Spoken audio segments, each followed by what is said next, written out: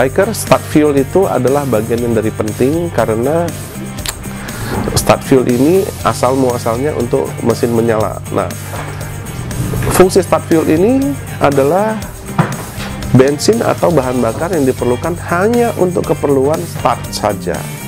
Jadi waktu Anda start motor injeksi itu harus bisa ditekan dengan satu tombol tanpa membuka gas sedikit itu tidak boleh. Jadi artinya kalau Anda tidak bisa menyalakan motor dalam tekan satu tombol. Itu artinya start fuel Anda tidak benar.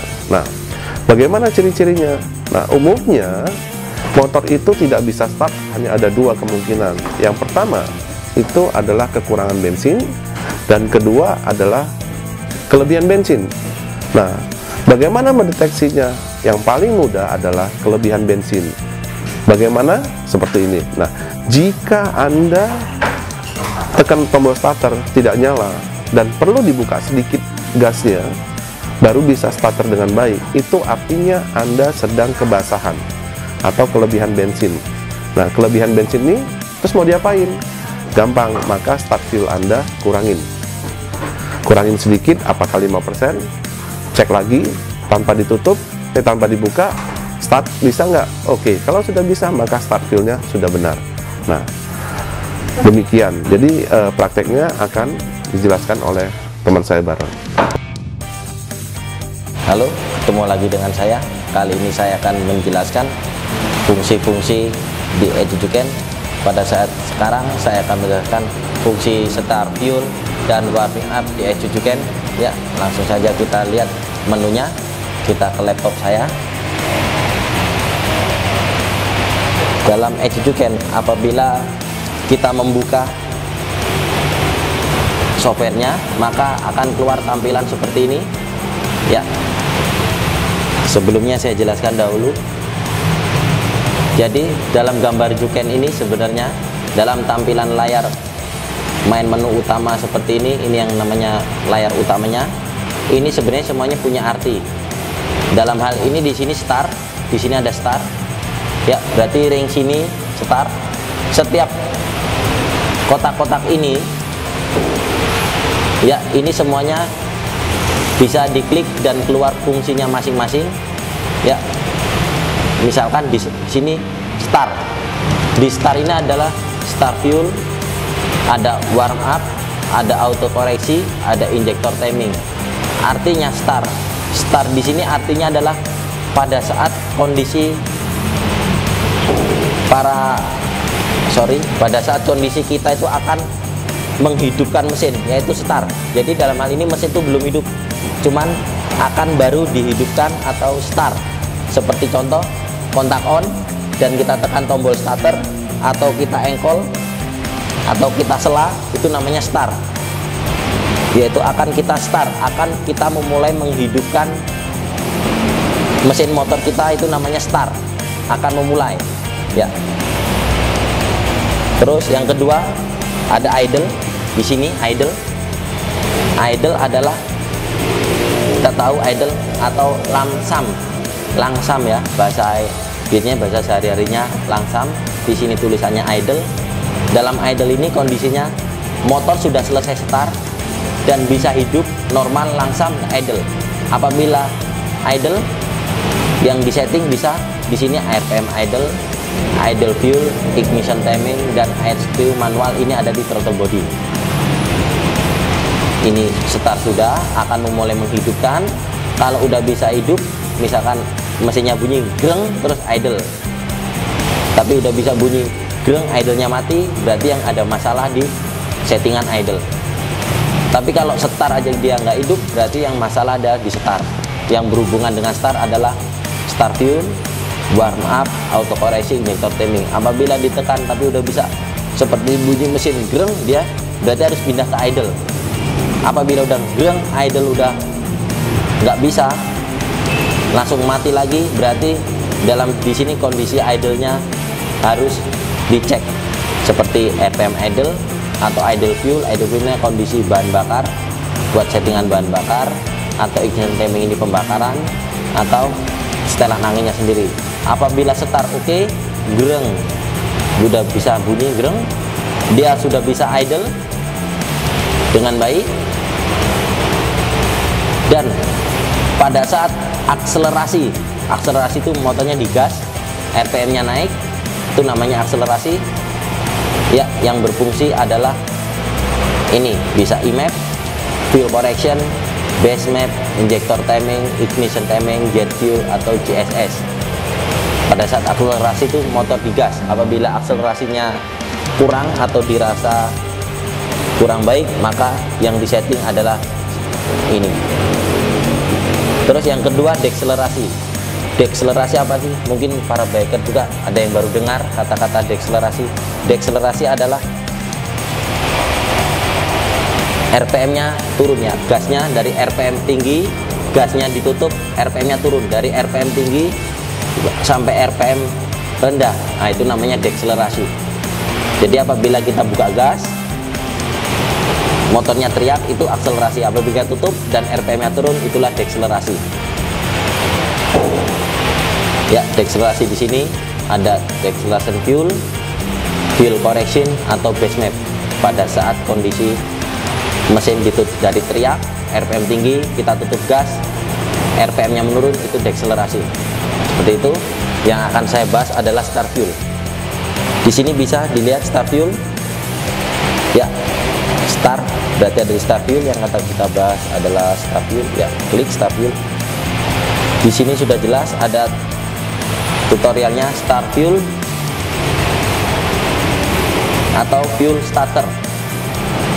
Fuel starter adalah bahan bakar yang hanya untuk saat starter saja. Jadi fuel starter ini fungsi penambahan bahan bakar tapi pada saat akan menghidupkan mesin seperti di sela atau dengan starter elektrik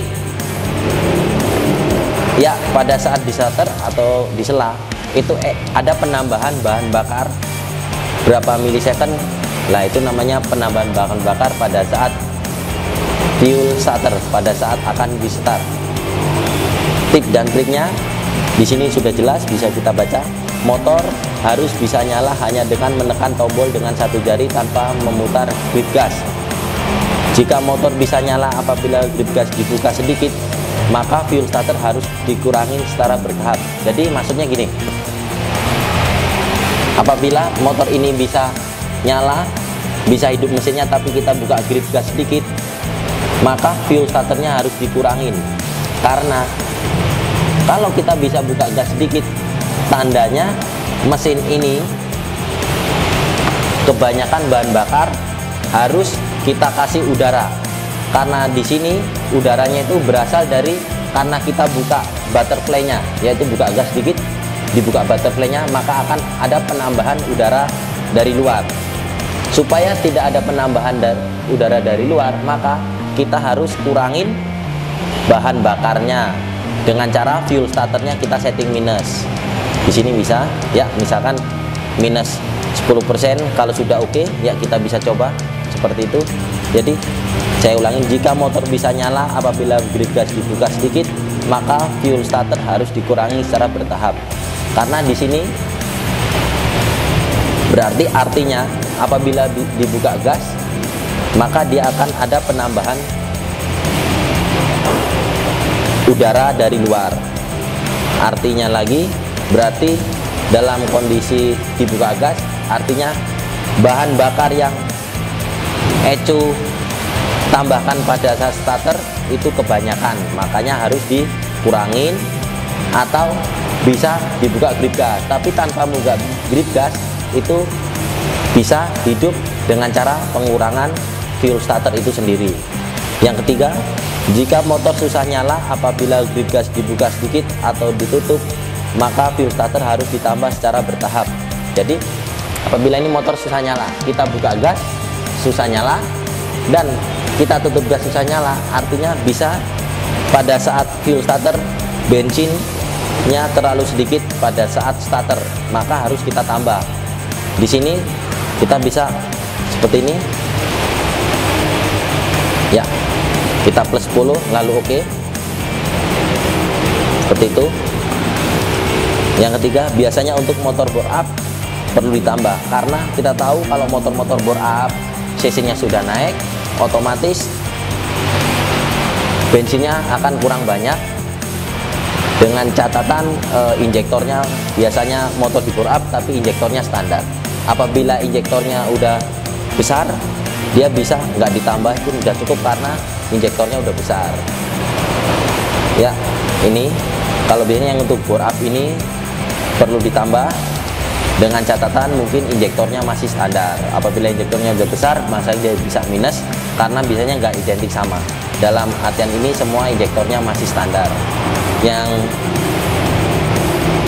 yang kelima biasanya untuk motor yang sudah ganti camshaft ya dengan overlap besar maka fuel starter perlu dikurangin. Kita tahu apabila injek motor udah diganti camnya durasi yang lebih besar dengan overlap yang tambah besar kita tahu maka dalam RPM seperti idle dan RPM lamsam kita di sini RPM lang langsam ya sekitar 1000 sampai 2000 RPM maka di situ akan selalu kebasahan. Makanya fuel starternya seperti mesti dikurangin.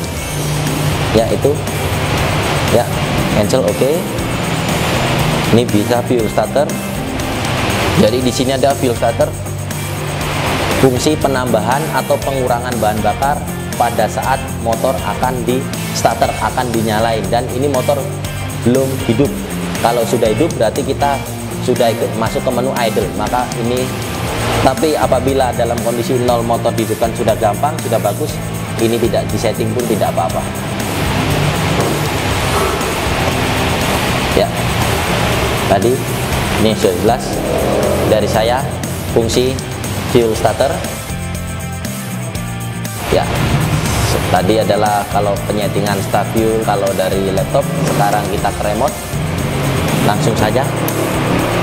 Kalau setting start fuel dan warm up seperti biasa ada di menu khusus. Ya tekan exit tahan set. Caranya sudah saya dalam tip trick sebelumnya pilih ECU Juken 5 karena ini koneknya ke ECU. Ini sekali lagi saya ulangin ini remote adalah remote universal bisa ke ECU dan bisa ke CDI pilihnya berarti ECU Juken enter. Ya, kita pilih. Fuel starter ada di sini. Ya tinggal penambahannya atau pengurangannya mau berapa persen. Ya di sini kalau udah tekan save oke misalkan minus 4 save oke berarti fuel startnya artinya dikurangin minus 4% bahan bakarnya pada saat kondisi start. Ya itu ada di remote